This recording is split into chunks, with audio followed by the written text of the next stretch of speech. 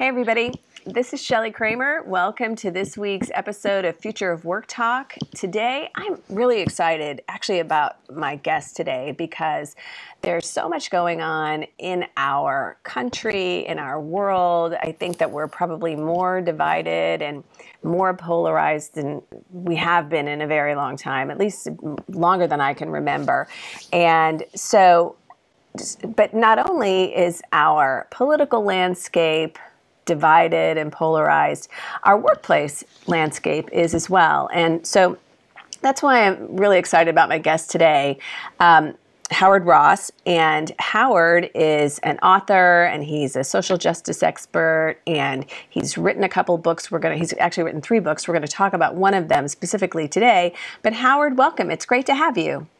Thanks so much, Shelly. It's great to be with you, and Happy New Year. Same to you. Same to you. You know, today's January 10th. Before mm-hmm. we know it, it'll be, you know, Christmas again. It goes so quickly. It's crazy. it seems to, yeah. It's crazy. I think that's a function. Uh, a benefit of getting older. Time goes so so quickly. So, Howard, tell us a little bit about you and your background, so that so that we can get acquainted.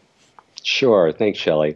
Um, yeah, I, as you mentioned, you know, I've been a social justice advocate my whole life. I got involved in doing work in civil rights, and uh, when I was a youngster, and um, working the, on the anti-war movement and with the um, farm workers boycott and the like, and um, that led me to really an appreciation of diversity. And at the same time, professionally, I was trained as an organizational development um, uh, proponent, and so uh, doing work with organizations around culture change. And the two came together in the mid to late 80s when we had large numbers of women and people of color coming into organizations because of court orders and creating environments which people didn't really know how to work together. Um, and so I started doing consulting and have now for about 35 years done consulting with organizations all over the world, uh, helping them look at how do we create more inclusive cultures. Uh, mm-hmm. That led to the, my first book, Reinventing Diversity, um, which came out in 2011, which just generally talked talked about how do we create cultures of inclusion. Um, but then it became apparent to me that one of the real barriers that we had for getting where we wanted to go um, was unconscious bias and right. the way we unconsciously make decisions, which led to the second book, Everyday Bias, which came out in 2014, actually right around the time that Michael Brown was shot in Ferguson. Mm-hmm. And um, and um, and the third book, the one we want to talk about today, Our Search for Belonging, really evolved out of my own looking at my reactions to what was happening in our culture. You know, I, I grew up in an environment in which we were really encouraged uh, by our parents to understand other people's points of view, even as we had strong points of view ourselves. Mm-hmm. And I don't mean not taking a strong point of view. I mean being able to have a point of view, but realizing it's a point of view and recognizing trying to understand the legitimacy of the other side as well. And I found myself becoming more and more, uh, being more and more difficult for me to do that. And so it just raised my curiosity as to what is it about us as human beings that forms these tribes that we get into and warps our thinking so much so that we can only see ourselves as right and the other is wrong, right. and hence our search for belonging. Right. Well, uh, fascinating, fascinating. Um, so, in our conversations, you shared the that an apt descriptor of one of the things that you're talking about in your book is the Whole Foods and the Cracker Barrel part of the equation, and and and how those those brands are a perfect example of the kind of polarization that you're talking about. Tell me about that. Yeah, sure. This is actually something that uh, was a study that was first done by the Cook Political Report back in 1992. Um, and just to preface it by saying, most of us realize that the thing that you said in the introduction, that we are feeling more polarized than most of us can ever remember. I mean, for the most part, we've lived in a bell curve society right. where you had people's on the people on the extremes, but people, most people were willing to negotiate with or collaborate with people on the other side on an issue by issue basis. So right. I might disagree with you about civil rights but agree with you about gun rights, right. for example.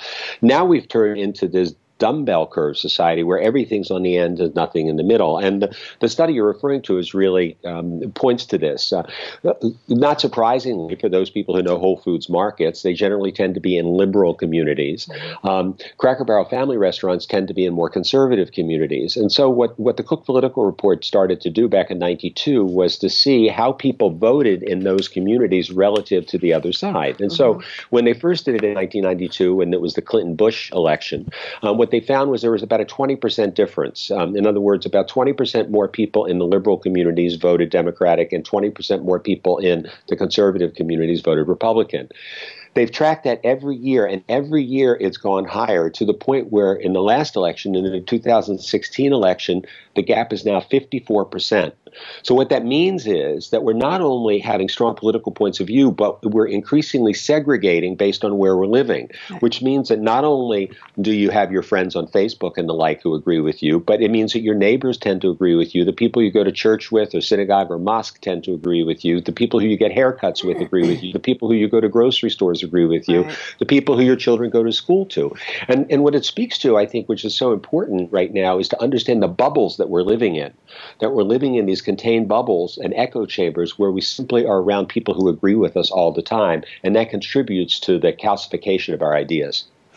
Yeah, and I think too. Um, I, I, think it also tends to. I, I think about um, my own community and interactions and conversations with people, and I think it also tends to make us personally maybe draw into ourselves a little bit more because you um, when you're operating because I, I, my community is you know I live in the middle of Missouri. It's a red state. I live in a city that's you know fairly liberal city as cities tend to be, but still mm-hmm. plenty mm-hmm. of plenty of conservatives and conservative liberals and conservative Republicans and Democrats. You know, right. but but it is interesting because it's almost like like you say, you know, we used to occasionally be able to have conversations with um, I'm a Democrat, my husband's a Republican, and we mm-hmm. used to mm-hmm. joke about the fact that we existed simply to cancel one another's votes out at the poll. right. And he totally understood the issues that were important to me and why I voted the way I voted, and I understood the issues that were important to him and why he voted the way he voted. And we didn't always agree, obviously, on on candidates and outcomes of elections and all that sort of thing. But it was fine. And so what has happened though is that nothing's fine anymore. It's like I hate you and you hate me, and it's it's terrible. And so I do see when that when that translates into the workplace that's well, you know, I think it's. I'm sorry. No, no, no. Go I was, ahead. I, I was. I was going to say. First of all, I'd say at least you're not as bad as uh, Kellyanne and George Conway. Let's say, you know, no, um, that, that is um, bizarre. it is pretty strange, isn't it? Um, uh, but I, I do think that there's what you're pointing to really ties into what I was talking about earlier about this this uh, these echo chambers that are forming. Because if you think about it, you know, we we go onto Facebook. Those of us who are participating in social media, and uh, people more and more increasingly unfriend people who don't agree with them you go onto Twitter and you block people who don't agree with you, and and you get this sense that the entire world agrees with you. And one of the things I did for the book, because I do tend to come from the liberal side, was I went out and interviewed over hundred people who voted for President Trump because I really wanted to understand. Sure. And and I have to say, it devastated my stereotypes. Um, you know, I had this sense based on watching TV and the things I was seeing and, and the like. And I also watch multiple media sources. Like I have my news feed come from different media sources on purpose. Even though sometimes I feel like throwing something at the TV, it's important right. to hear the other point of view. You know, I did that um, as well. And, Exactly right. And and what I found in talking to people was that there are reasonable people, caring people, really good, decent people um, who just see the world very differently. And that doesn't mean that I think they're right, but but there's a big difference between seeing somebody as wrong in their point of view versus seeing somebody as wrong as a person.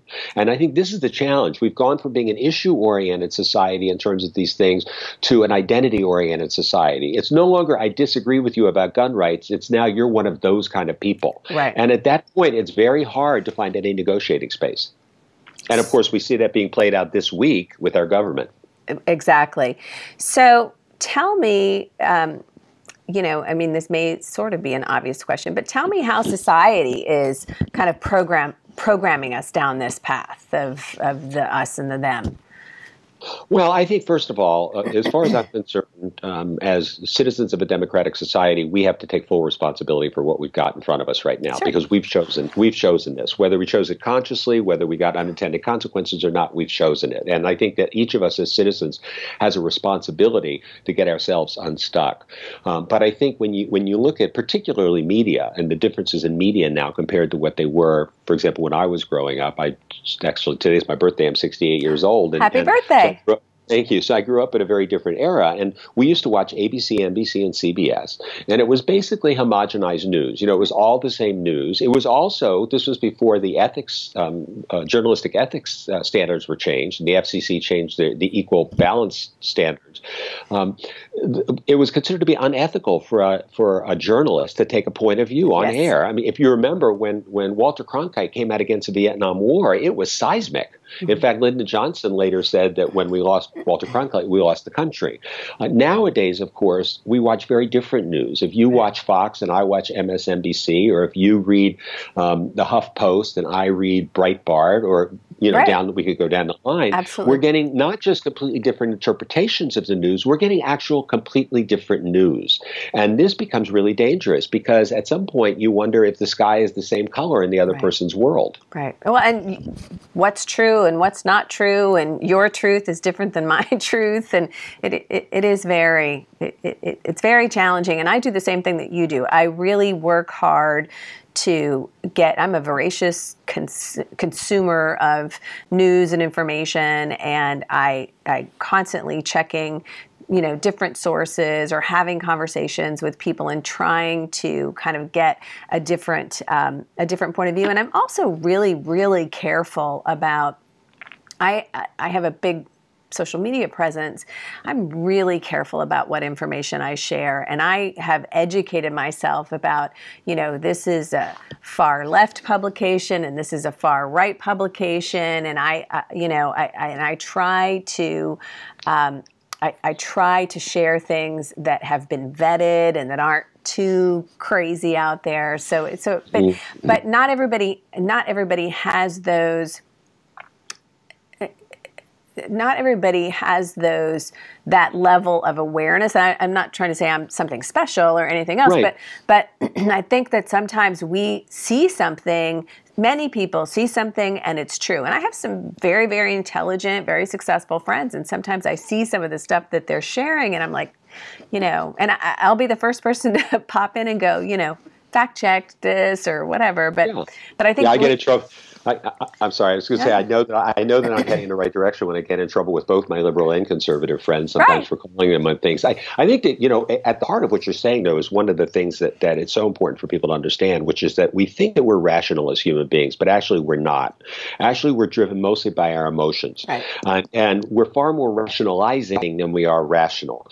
So if we put that in the context of seeking information, like like you're talking about, we think that we seek information like scientists. In other words, we go around and kind of explore to find out what's going on. But the truth is, we seek information much more like attorneys, looking for evidence to support our already established point of view. And therefore, you know, it's much easier for us to, if you're on the left, much easier to believe something that feels a little strange if it comes from Rachel Maddow, but and and automatically to disregard something that doesn't agree with you if it comes from Sean Hannity, and vice versa if you're on the right, rather than to really explore and to understand that both in each in their own way, and obviously from different political points of view, are trying to make a point, and therefore cherry picking information that tries to make that point. Right. Um, and so I, I, I believe I have very strong points of view, and I have no problem sharing those points of view, and I have you know strong evaluations and, and you know judgments about certain politicians and the like.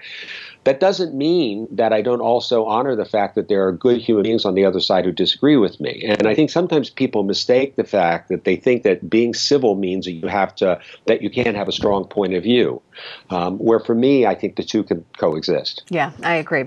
So, so we've talked about the state of the world, and we've touched on politics. How does all this impact organizational culture? How, um, what are we seeing in the workplace as it relates to this polarization? Well, first of all, I think that, that we have to recognize um, that uh, the power of belonging and, and how important it is to us. You know, most everybody I'm sure who's listening is sort of Maslow's hierarchy. Abraham Maslow in 1943 created his now very famous model, which is usually depicted in a pyramid. Um, and he basically said there's certain needs you have to get met before other needs. So you get physiological needs, and then safety, and then belonging, and then self-esteem, and then finally self-actualization or self-awareness. Um, what we're finding now through the neuro and cognitive science research is that Maslow was actually wrong, that belonging is our fundamental human need. And if you think about it, it makes perfect sense. I mean, what's the most what's the most vulnerable time of a human being's existence? You know, a newborn baby. Right. And if a newborn baby doesn't belong to someone, they die, very simply. And so the first imprint that we get as human beings for the first several years of our lives is I exist because you exist. And this is one of the reasons why everybody who's listening to us can think of a time when they went along with something they didn't agree with just to get approval of a group, or they didn't challenge an idea because they didn't want to be shunned by a group. We have a, the tremendous need to belong. And so when we look at the workplace environment, a lot of people ask me sometimes in the context of diversity work, you know, well, how do, where does this term fit in? And my, my dear friend and mentor, Dr. Johnnetta Cole, um, has said that, uh, that diversity is being invited to the dance and inclusion is actually being allowed to dance. I would say belonging is when you actually get to choose some of the music. Yeah. Um, that, that, that environments of belonging where people really feel like they're included um, are, are environments in which people feel like what they have to say, their perspective is valued. It's important. It's important at all levels of the organization. It's not just about having numbers there, but it's about having a voice and being listened to. It's about um, being considered from different perspectives. So that, for example, as a man dealing with what's going on now with the Me Too movement, and um, you know, which has been just this remarkable, courageous, you know, outpouring of people, but also can go to extremes sometimes, like anything else in life. Um, for me to understand understand that it's it's so important for me to listen to what women have to say about that before making determinations about how it's affecting me. It doesn't mean that I don't have a, that I'm not entitled to a point of view, but my point of view has to be somewhat informed by people who are being affected by it in a different way. And the, mm-hmm. the same is true around race. As as a, a person of color, people have to understand how it impacts people of different racial groups, or as a white person, how it impacts people of color. For those of us who are heterosexual, to understand how dynamics in the workplace impact LGBT people in ways that we may not even realize because right. not because we don't care, but because people have a tendency to see things from their own point of view. You know, the great example that I give uh, for this in our society today is the, the three words uh, Black Lives Matter, which are three of the most controversial words in America today. And we know that we have these two very strong points of view in our society about these three words. But what people aren't paying attention to is that when we see those three words, we're actually not reacting to three words, we're reacting to four words. But the fourth word is invisible and it's different for each group. You see, some people, when they see Black Lives Matter, see the words only Black Lives Matter. Mm-hmm. Some people, when they see those same three words, see Black Lives Matter too. And which of those perspectives you come from completely shapes how you react to those three words, but we rarely discuss that. And so the more we get this stuff consciously onto the surface, the more we can begin to create environments where we can understand each other enough to try to find ways to beat each other and compromise. That makes perfect sense. So what um, what can businesses and organizations do to create an environment and a culture that's inclusive and, and tackle these issues? One thing is to be really clear uh, what direction we're going as an organization, what we're here for, um, and uh, and how the things that we do um, and choices we make are supported by values that are very clear in the organization. Um, we've moved. Uh, sadly, um, societally, into a circumstance where the ends tend to justify the means for most people, um, and uh, in, in philosophy, they call this a deontological approach, and that is when you come from your values being important regardless how they play out. So, for example, using a political example, you know, I'm completely on the other side politically from somebody like Ann Coulter. You know, I completely disagree with her, and yet I will stand and fight for her right to speak because I think freedom of speech is important, regardless of who's the one who's speaking. You know, um, we're getting to a point now where people say, "No, this person can speak, but that person can't speak," without even realizing the danger that that is in, in, for our society. I think similarly in the workplace, we can create ways where we say very clear to people, "These are the values that govern us. These are the, the ways that we make decisions, and we're going to constantly come back to these tried and true ways of making decisions." Know, if we look at some of the great organizations over time, you know, Hewlett Packard just popped into my mind. The Hewlett Packard way was the you know was was sort of one way of looking at that. These um, organizations that have very clear values orientation tend to be the ones that sustain themselves over time. Mm-hmm. Sometimes some people may not like the choices that are made because of those values. Sometimes those same people may support the choices that are made because of those very same values. Um, but the values are what drive us rather than our visceral reactions. And then the third piece is, of course, is really important, or a third piece, I should say, which is really important is that we create a space of having open, courageous dialogue around these issues in a constructive way. Um, and there's some people around, you know, for example, Caroline Wanga, who's the chief diversity officer at Target, or James Momon, who's a chief diversity officer at General Foods, um, are conducting sessions with their employees where they bring them together and give them a forum to have healthy, constructive conversations about some issue, some difficult issues of the day. Mm-hmm. They don't necessarily resolve or come to agreement, but they learn to respect each other and each other's right to speak. And when we get to that place, then we're not so fearful about these conversations because we understand that we know how to handle them, we know how to have those conversations in, in productive ways. Yeah, and I think sometimes I can give an example.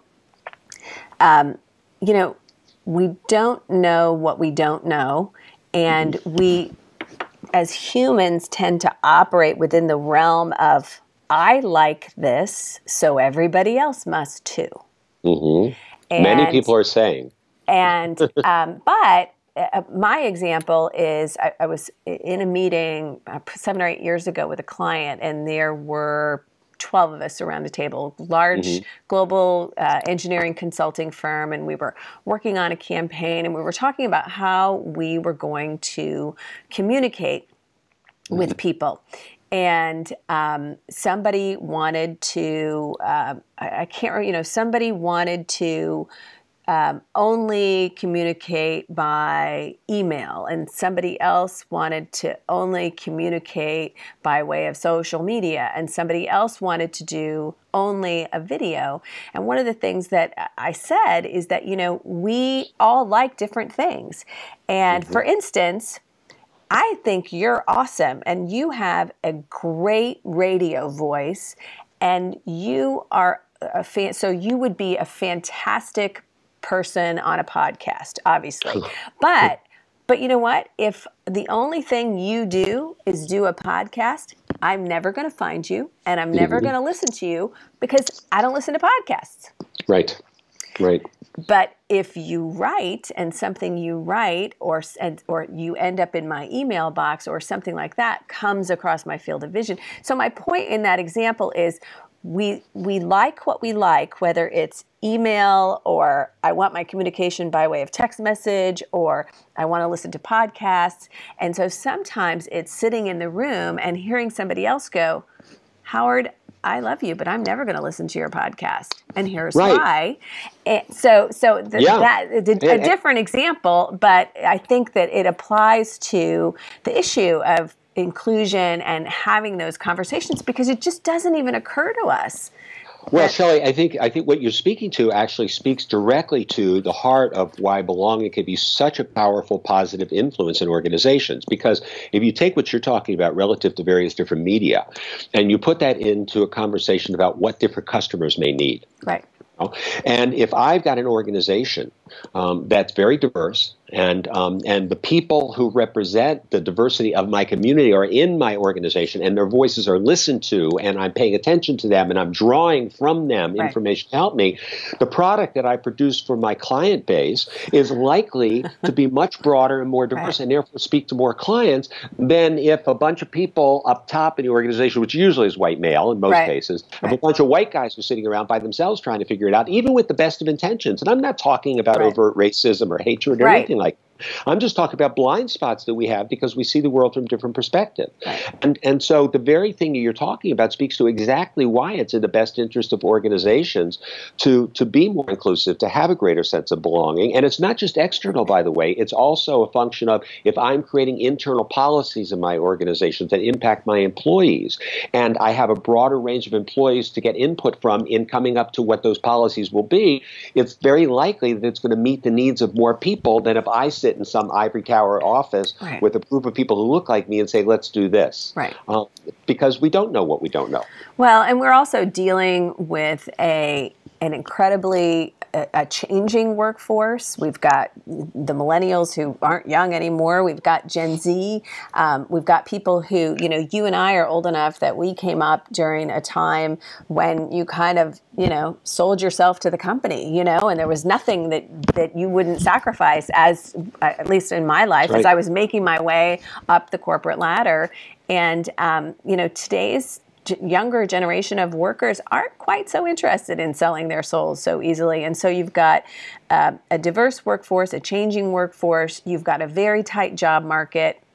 And so, when if you're focused on talent recruiting, if you're focused on talent retention, your job is harder than ever before. So, it, I think it is important to have these conversations and to create a culture that walks the walk and talks the talk when when it comes to this. And as you said you know all of it. I don't care what you sell. I don't care if you sell um, widgets. I don't care if you sell beauty products. It doesn't matter whether you're a b2b company or a b2c company. Um, your people buy what it is you sell that's right. And I think you know it's it's it's really interesting because I think um, a lot of times um, as human beings we we're it's more important to us to be right than to be successful. And and I look and I see people points of view these days. And you know when I when I sometimes talk about the work, people come up to me and they say, well, how can you you know even waste your time? I can't tell you how many people on the on my side of the political have said, why did you waste your time talking to all these people who voted the other way? You know, and my response is first of all just to understand, but secondly, if I'm going to try to convince people um, to look at the world differently, it starts when I understand how they're now looking at the world. Um, if I don't understand how they're now looking at the world, the chances of my speaking to them in a way that they can listen is is almost zero. It's a little bit like when you go into the mall and you're looking for the shoe store. What's the first thing you do? You look for that map that says you are here, because until until you know where you are on that map, the map is useless to you. Um, and so, what I try to get people to see is this is a practical as well as a philosophical point of view to take. I'm not just saying let's all be nice to each other. Yeah. I'm saying let's find a way to understand each other so that we can work and live together because, like it or not, we're codependent in this organization called the United States that we live in. Right. Well, and not to mention, it would be incredibly difficult to write a book on this topic without stepping outside your own biases. You know what I'm saying? I mean, you have to have those conversations with other I people. Guess. You have to. I mean, I think, I, I don't yeah. know.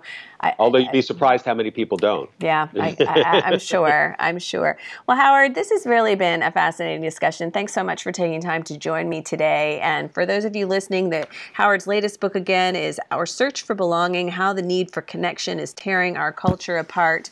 I will include a link to it um, in the show notes for this show. And um, I, I really do appreciate the time you took today. It's been very, I've learned a lot. Thank you so much. I really appreciate it. And I can't read your, I haven't yet had a chance to read your book, but I will. So. All right, great. All Maybe right. we could talk again after that. That so would be, be great. And you have right. a wonderful birthday. Thanks. Thank for, you so much. Thanks for joining me. Bye bye now. Bye bye.